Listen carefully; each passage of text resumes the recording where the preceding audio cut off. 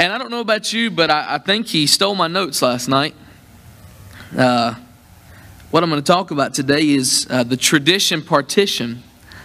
And uh, he stole my notes. So, um, but I do want to thank the Lord for the school this past year. I was blessed to go myself. Um, graduated this year. This has been a busy year for Jacob Anders. Graduations, proposals. She said yes. Praise the Lord.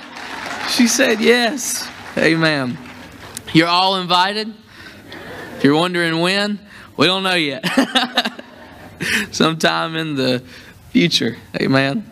The Lord knows, and uh, I'm going to let him and Haley work that out because they seem to have a real good handle on that type of stuff. But I am so thankful to be here. How about you? And um, I do want to get serious. I tend to joke a lot, but um, I do have a heavy heart today. And um, I want to deliver my soul. And I want to do the best that I can to encourage you, first and foremost, to begin making plans to go to BTI next year. Amen? Turn to your neighbors say, You can go if you want to. And you need to say it with that good southern drawl. And for our Spanish folks, it's easy. Just hang around in America long enough and you'll get that accent. Amen. Scripture says that, Brother Strong told us last night, if we only believe, God can make it possible. I know it seems impossible for some of our people to take two weeks off of work, and I'm finding myself in that place now, uh, entering in, into the workforce. I call it the big boy workforce. I've been in the little boy workforce for a long time, and entering into that. And I know that right now, through my eyes, it seems impossible for me to go to BTI this coming year. And that breaks my heart. But with God, all things are possible. Amen? Do you believe that? I'm going to see you there then, all right? I want to get into this today. Brother Strong talked about taking a couple of my minutes, and that's okay. That just means I get to take a couple. No, I'm just kidding. I'm just kidding. I want to thank the Lord so much for uh, Brother Strong giving giving me this opportunity um, on program. Thank the Lord so much. I want to echo the sentiments of many before me. We welcome Brother Solis and Sister Solis, and I'm not trying to be one of these preachers that speaks things into existence, but sometimes when people show up from out of state, it means they're going to be around a while, and I don't know.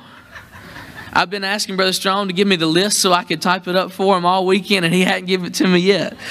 I told him I'd proofread it and have it perfect for him. And you know, Brother Strong, I can handle it. You know, so uh, he hadn't given it to me yet. But whether you all are here for the next year or just here for the convention, we welcome you. And we are so happy to have you. Brother Jason, that's for you and your wife. We still got some hurt feelings, but we love y'all too. And we are so thankful that y'all are here. And can we give them all a good hand? We love y'all so much, Brother Jason, Brother Solis, and you're home now, and North Carolina is just a little bit prettier than California, and I've never been to California, so I can say that. I want to get started today. Bridging the gap of the tradition partition. How many knows what a partition is? It's something that divides. And how many of us can be honest enough today to say that there are still some divisions in the body? Amen? Maybe the Lord let this happen just for this moment. At this moment, I've got a few divisions in my body, three to be exact, and they hurt. And you know, when it first happened, it really didn't hurt that much. My toes didn't hurt. But now, what has started happening is there is some feeling that is starting to come back in those toes. And I'm praying, Lord, let them go numb again. Let them go numb again. Because once I start feeling them, the weight that I carry starts to hold a little bit more weight, if you will. and for the first couple days, other than the fact that I had a boot on, I really didn't feel the pain that the divisions in my body were causing me. But there's some broke toes on my body right now, in case you don't know. Three of them. And the longer they're there, the more that they hurt. In a natural body, though, my, my doctor has assured me if I'll leave well enough alone and be obedient and wear this, it will heal. Praise the Lord. And he's thankful for good old doctors. Luke was one. And he told me that if I would just take it easy, and I thank the world for the best camp nurse there's ever been, Sister Becky, and her wonderful assistant, Sister Cindy. They can be a little mean sometimes if you don't follow their orders, but it's all out of love. but they have assured me if I will just stay the course, don't do anything crazy, it will heal. But friend, I'm here to tell you that is not how it works in God's body. Divisions, if left well enough alone for long enough, are not just going to magically heal. Somebody tell me amen. amen. If anything, the divisions are just going to get worse. Because you and I are not always the most obedient patients. We don't leave things well enough alone. Maybe if we did, it would heal. But what happens though is one division turns into another division because we haven't quite mastered that part in James that tells us to bridle our tongues. And so, what starts as a division between myself and Brother Daniel turns into a division between my family and Brother Daniel's family. And eventually, it becomes a division between the Reidsville Church and the Rocky Mount Church. Come on. And what happens if one day, and I'm not speaking prophetically, what happens if one day Brother Daniel is one of these that is stolen away by the other states of this country? And he goes to pastor in Virginia or California or wherever. Levy said, Don't say that. What happens then is the division will then become from North Carolina to California. These divisions are not small things. Come on. And it's not just a small thing in terms of difference of likes and dislikes. I'm not talking about trivial things like that. I'm talking about deep things like hurt feelings. that sounds like elementary school, don't it? But Paul said when we ought to be teachers, we have need that one teach us again. Brother Jason said it, don't blame me. We get our feelings hurt too easily. But it goes even deeper than that and it goes into what we believe. Come on. Scripture says that in the when all of this wraps up and the Lord comes back, we will see eye to eye. All the Anders say, Praise the Lord. We're going to look him straight in people's eyes. Amen. Praise the Lord. When the Lord comes back, we will see eye to eye. And he's not talking about stature, he's talking about being on the same page scripturally. Amen.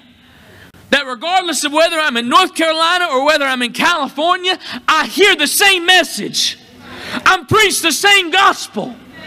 And that is impossible if I find my preaching in anything outside of this. Brother Jacob, that's all you talk about is the word because I love it because it is what showed me Christ. Come on, somebody. Maybe you didn't see Christ through the Word. Raise your hand if you found Him in the Word. I'm thankful that I had a good pastor to teach me. I'm thankful that I have many of you in this building that I look up to that have taught me over the years. But what good would it have been for me if I did not find it for myself? And the wonderful thing about it was, was what my pastor taught me, what my overseers taught me, what my Sunday school teachers taught me, what my VLB leaders taught me. It was all in the Word. Amen.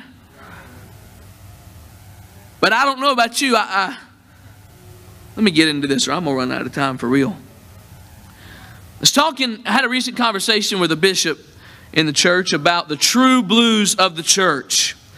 Let me define what a true blue is. They're faithful. They love the church. They love her teachings. They love people, even the ones that don't love them. They're not ashamed of the gospel. They display the fruits of the Spirit.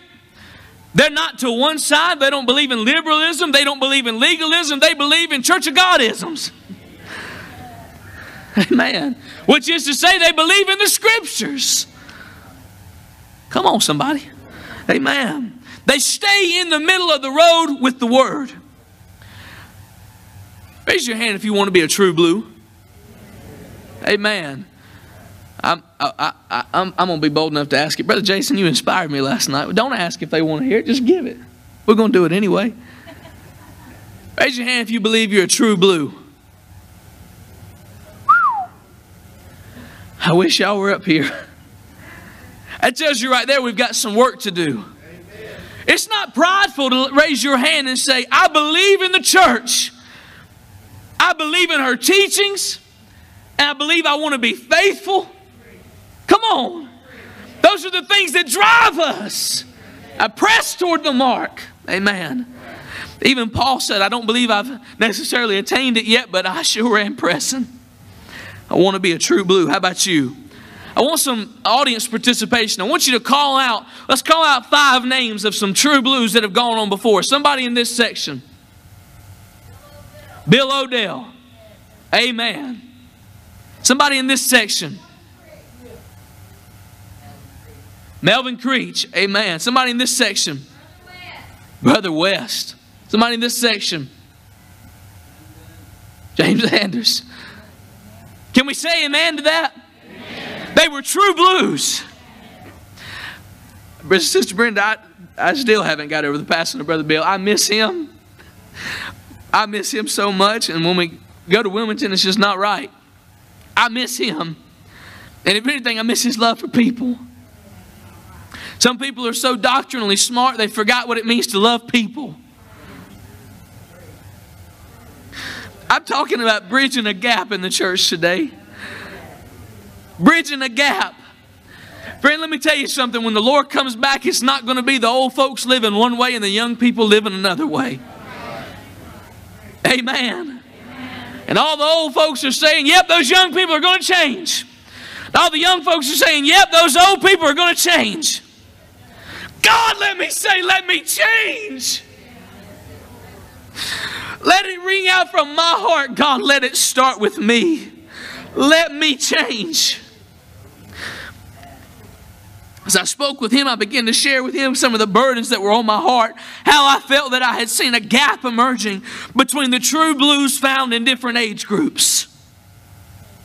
Let me say that again. I want to be on the same page.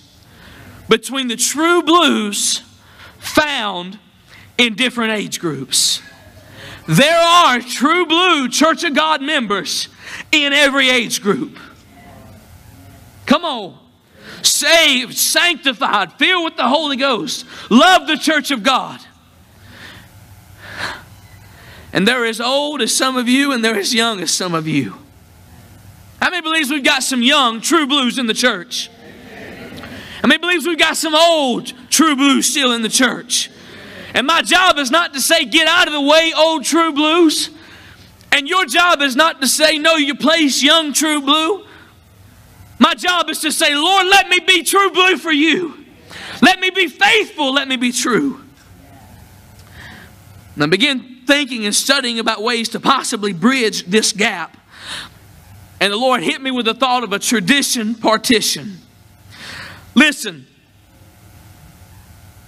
I believe most people in this building today have no issue with this. Come on. I believe what we have issue with sometimes is the way it is presented. Come on. Can I be so bold to say? I think most people in here don't have a problem with this.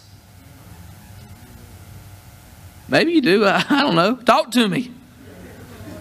But maybe they have a problem and have been hurt by the way it has been presented. I got Sister Clem's support. That's all I need right there. She said, Well, that means you own to something. Come on. I believe if you will go to any young person or any old person that loves the church and you present them the word in a loving way, it will take root in their heart. Come on. Or any middle of the road person. Maybe they're not old, young, maybe just somewhere in the middle. Amen, mom and dad? They're not old yet. I want to talk about a tradition. A tradition, the secular definition, is the transmission of customs or beliefs from generation to generation. And this is, you Google the word tradition, this is what comes up. I'm not making this up. Google it. It says, theologically speaking, it is a doctrine, excuse me, believed to have divine authority, though not in the scriptures. A doctrine, let me make this very short. A doctrine not in the scriptures. That's what Google says a tradition is. A doctrine not in the scriptures. Friend, the church of God has no doctrine that is not in the scriptures. Amen. And if anything is being preached as doctrine that cannot be found explicitly in the scriptures, it's not doctrine. Come on. Amen. I'm going to do what Sister Sharon says. Preach, Brother Jacob. That felt good. I see why you do it now. I want to dive into the biblical role that tradition has in the church because it does have a place. But it must stay in its right place or it will damage us. Come on. How many, when you go to your local churches, the pastor starts off a certain way every, or the Sunday school director starts off a certain way every Sunday? Anybody? All right? Maybe there's not. That's okay. That's a tradition for your church. You're what we call go with the flow. And then there's my mother. Before we dismiss to every class, and when I fill in for her, I, I just feel obligated to say this. Please pray for your teachers and participate in your classes. every Sunday. It is a tradition. Amen? Anything wrong with that? No, praise the Lord for it. A VLB march. Come on, Lovey. Praise the Lord. Anything wrong with a VLB march? You find it in Scripture? Oh? You, you find the words VLB march in Scripture? Come on, y'all. This ain't hard. You don't find it. It's a tradition. But we thank God for it. Amen.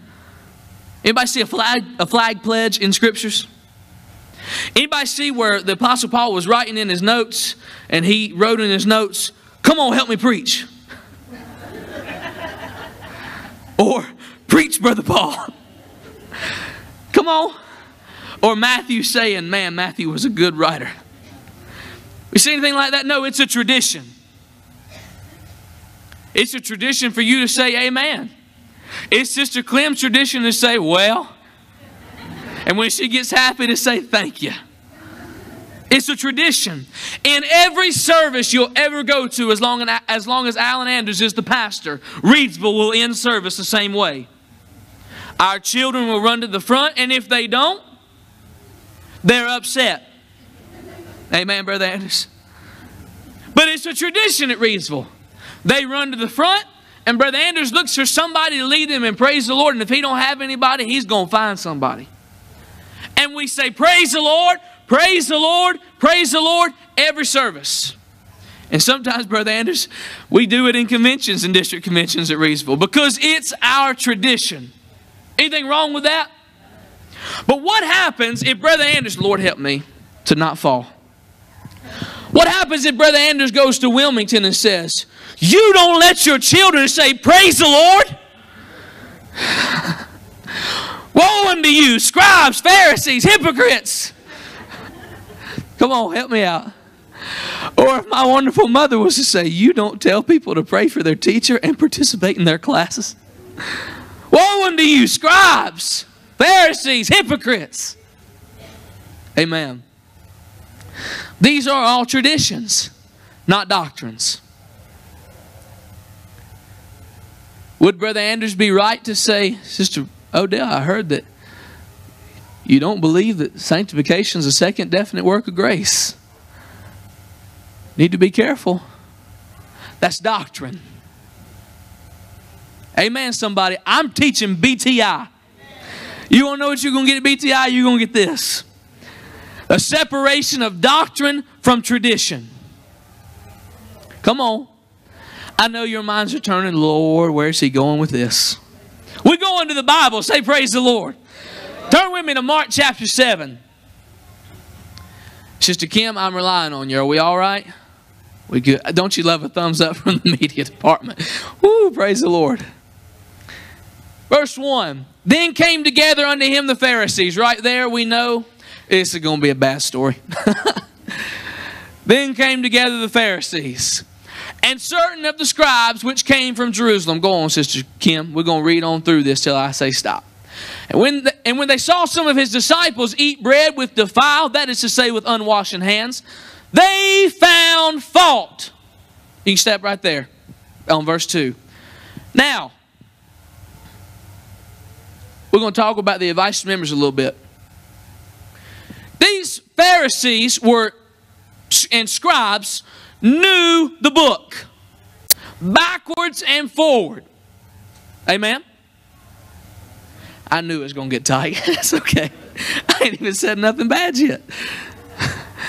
They knew it like the back of their hand. They knew it all. But in knowing it, it caused them to do bad things. They found fault. I wonder how many today go around checking out how long the skirts are in the church. I wonder how many today go around making sure. No, you just got pretty eyelashes. I thought that was mascara. It's okay. I wonder how many go around saying, Did you pass out your evening light this, this month? That's in the advice to members, folks. Do you attend every service? I'm talking about, come on, help me.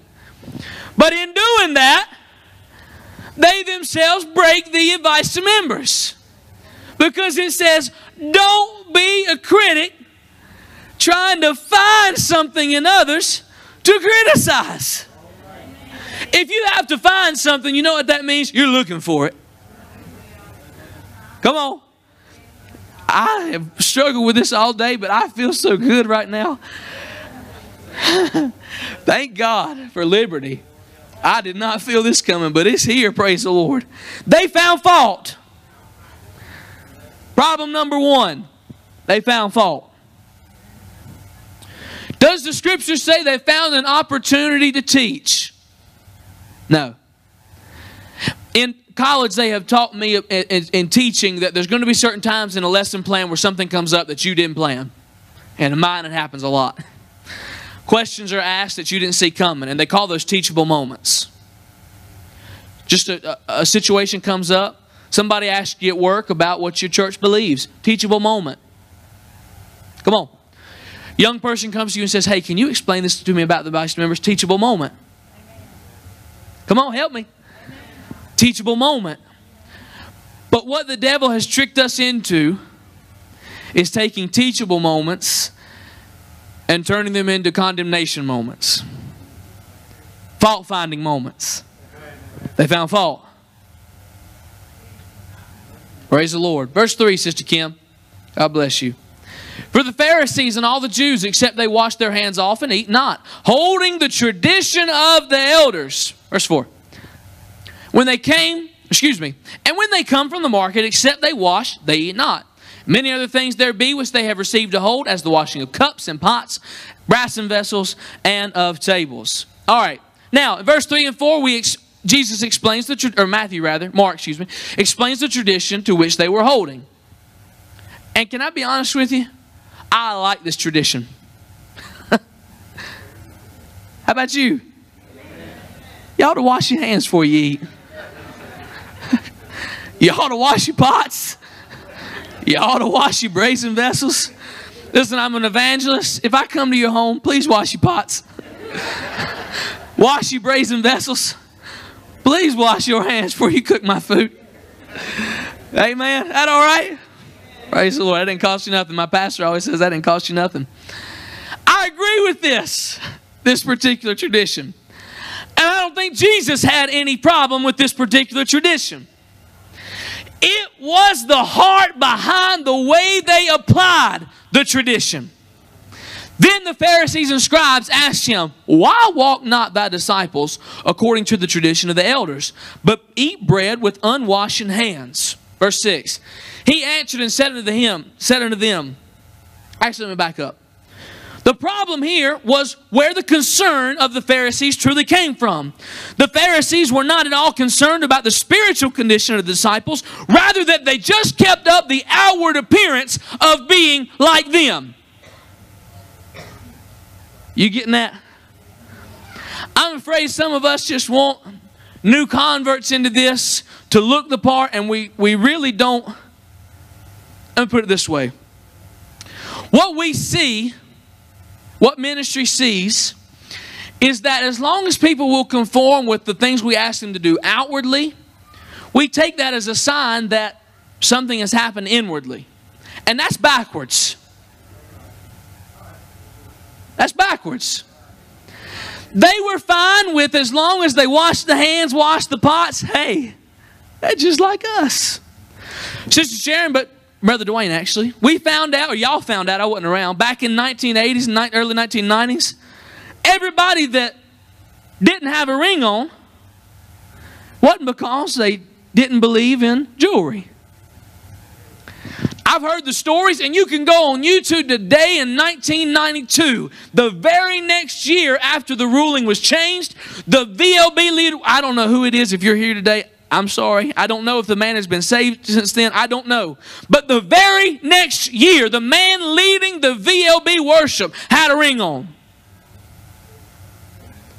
He conformed to what was outward as long as it was required of him. But his heart was obviously not in the right place. Because once the church said, hey, this is no longer part of our doctrine. Well, praise the Lord. I've been wanting to wear this baby for a long time. Preach, Brother Jacob. I believe there's many Church of God people today walking around conforming to the doctrine because it was what they've always been taught.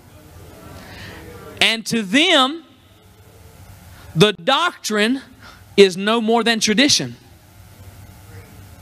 I hope you're getting that because the doctrine has become tradition to them because it's just what they've always learned. There's a great benefit to those of you sitting in here that have come from outside in. Because you know what it's like to live something else. I don't. Raise your hand if you grew up in the church. Praise the Lord, but you there is a danger in that. Because you can become so cold and calloused to the truths of God's word the depths of His Word, that all of a sudden it just becomes tradition. I don't know if you've noticed this, but there has been a steady decline in annual, in general church membership. Oh, look. There has been a gradual decline in membership. And I don't know why, but I tell you what I've noticed. I've noticed that Many of our people have difficulty explaining why we do the things that we do. Or rather, why we don't do some of the things that we don't do. If your answer for this is Jasmine, if a young lady comes to you and says, Sister Jasmine, can you explain to me why it would be dangerous for me to wear makeup? If your go to, where's my vice members? Well, in page two, paragraph th- par- paragraph two, your dress should be with moderation, neat and clean, not, sh- not for show. There it is. Help me preach. If that's our go to, and not First Timothy, somebody help me. Maybe if you're amen to me because you don't know what's in First Timothy. I don't know. I don't know. It's funny, but my heart's broken. Because we've got young people that are hungry for it, but we have others that don't know how to feed them. God help us. God help me as a teacher. that if someone comes to me, listen, I'm not saying our traditions are wrong. I'm saying we've got to know how to teach them. God help us. Well, Brother Jacob, are you saying that it's a sin to do such and such? I don't say anything. Come on. We don't, as ministers, establish our own doctrines. We are not an independent church here and there and there. Every pastor has the uh, obligation to come under what the General Assembly has asked him or her to do. And my job is not to say, well, my opinion, it don't matter. But Jason said our opinion doesn't matter. What matters is that we have ministry that is grounded in this and can say, hey, this is the answer. Praise the Lord. Nowhere in Mark 7 are you going to see Jesus condemn the tradition. Go look. We don't have time. Go look. Nowhere in it does he condemn the tradition. What he condemns is the people uh, the people and their attitude concerning the tradition.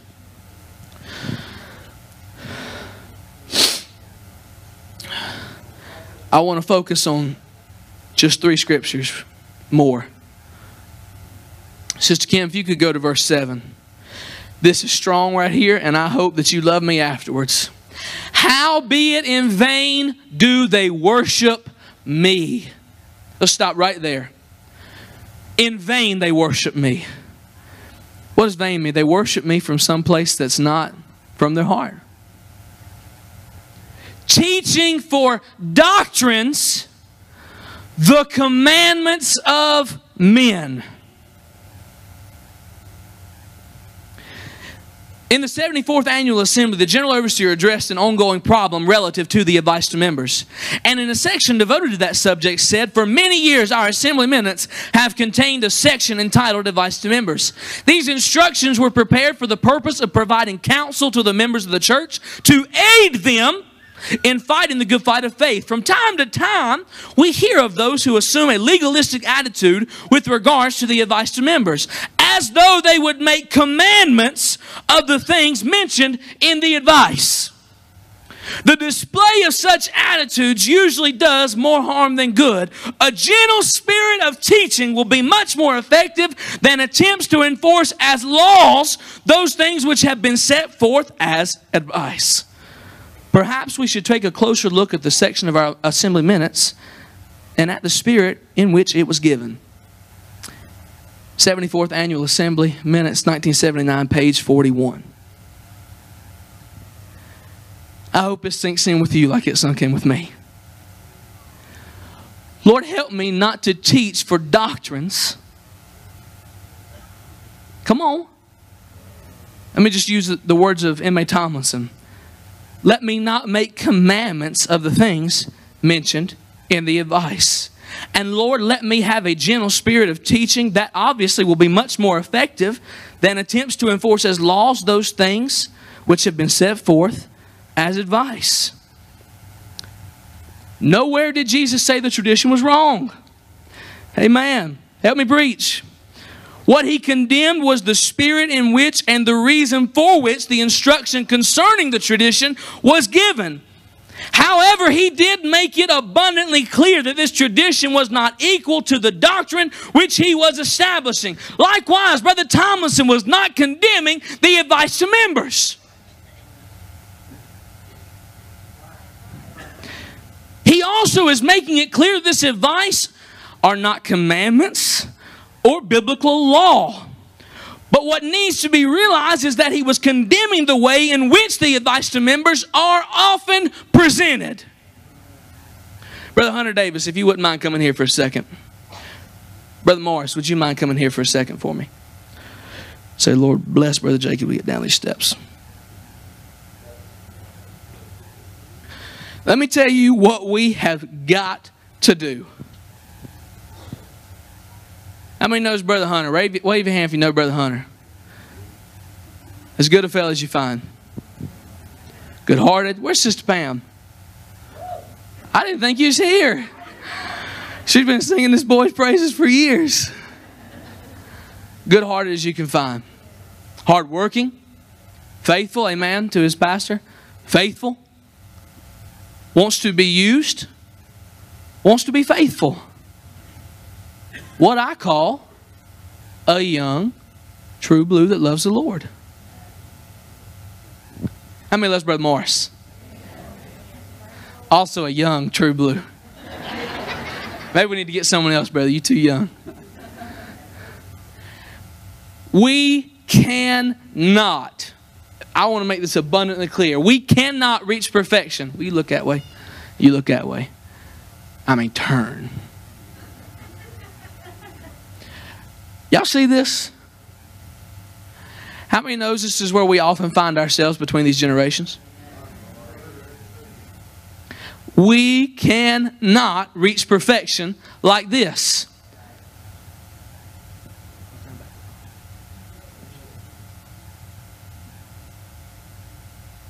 We can't do it this way either. Now, y'all, come on, we struggling right now. Pulling, saying, You come this way. And them saying, No, you come this way. We won't reach perfection that way either. God help us.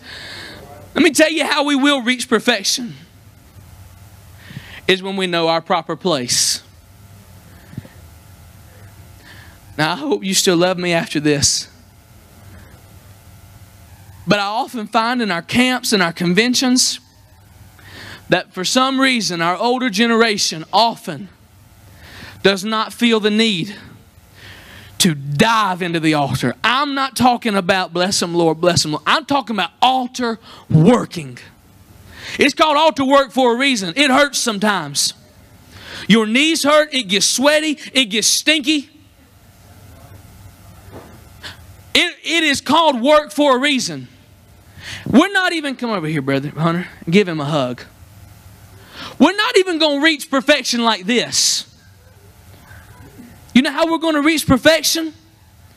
Is when both of these men, true blues in the young one and true blues in the old one, find a place in the altar. Lord, help me. Lord, help us. Brother Barnes, I still need you. Come on, Sister Clem. I still need you, Brother Strong. I still need you. The young people, we still need you. The old ones, you still need the young ones to carry on the message that have the energy to work. Come on. Brother West would have worked till the day he died, and he did. In his, in his bed that day, weeks prior, Brother Dwayne went and visited him, said he was ready to establish another church.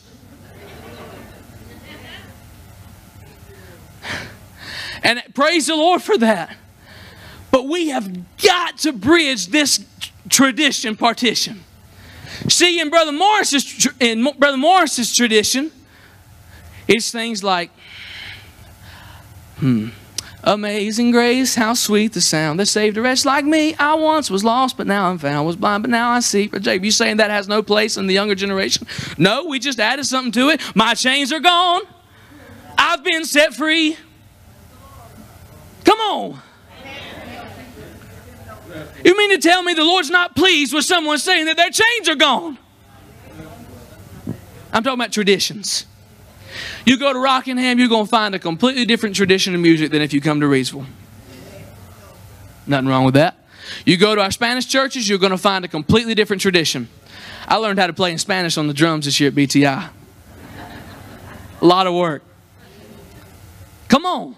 You go to Waynesville, you're going to find a different tradition. You go down to the uh, Greenville church, you're going to hear what Brother Stephen calls the lamb chop band. You're going to hear all kind of different things. When we say unity, we're talking about unity through the Word. Come on. You see how these young people do this and do that, and you see how those old people, they don't want to have any fun. How do we bridge this gap? First of all, we got to talk to one another. First of all, we got to talk to one another. Second of all, we got to pray with one another. Thirdly, we got to pray for one another. How many wants this gap to be gone? I'm not up here advocating that we just all worship the same way, that we all sing the same songs, that we all eat at the same places. That's the case. I hope you like Mayflower. I'm going to come into unity on that. But I'm talking about a place where we are brokenhearted because of the gap we see. I asked earlier, do you see the gap? And everybody said yes. But when we ask who's going to fix the gap, And you look around. I look around expecting for God to just magically fix it. And we wonder why we can't have a breakthrough in this convention. Because there's a gap. Come on. There's a gap. And there's even a gap sometimes in what we're looking for. The older generation knows what it means to see the blue haze. Mine doesn't. How many of you have seen this blue Shekinah glory? No offense, but y'all notice the age of these folks? I'm not joking when I say that. God help me. We got to get back. And I'm not talking about just the young people falling in line with what the older generation wants. And I'm not talking about with the older generation letting down the standard of God's holiness. I'm talking about where we start studying together again. And the young people are open minded enough to say, hey, that older generation has something that I need. But where the older generation says, hey, this younger generation has some new ideas that maybe they're not necessarily biblical but they can be church tradition too. When I say they're not biblical, I don't mean that it's a biblical. I don't mean it goes against what the scripture teaches. We talked about earlier things that are not found in the scriptures, but they're church tradition. I'm talking about new things like that. Help me, please don't assume bad things. I'm not talking about bringing in things that are wrong biblically, but I'm talking about giving the young people an opportunity to express themselves and to show just how good God is to them. And I'm talking about young people still loving the old past enough to sing old songs like Amazing Grace, How Great Thou Art. I'm talking about bridging the gap. God is not just coming back for the young people, God is not just coming back for the old people. He's coming back for His church. I want to be a part. How about you? But Jake, you're not a part right now. Oh, I am, but he hadn't come back yet. We had a precious, precious overseer just in the past couple years, a bishop in the church, field secretary, leave because of traditions. Because of traditions. I don't want to leave this thing. How about you? I don't want to leave. I want to be in a place where I say, I'm going to stay true, I'm going to stay faithful, and as our BTI theme is, I'm going to walk by the same rule as these two. I'm going to mind the same thing. And when Brother Morris gets weak, listen, I know what it means this week to be carried and to be helped. And when Brother Morris begins to get old, he ain't there yet. Brother Hunter and I come along, and I, I can't do this right now, brother, but we carry him. And as we carry him, he says, Let me teach y'all some things. Let me open the word to you like it was open to me. Let me open up the scriptures in the depths like it was opened up to me. And once that happens, there's no more gap in here, and we can all begin to reach a lost and dying world with the scriptures. With the truth of God's word and walking the same by the same rule, minding the same thing. God bless you.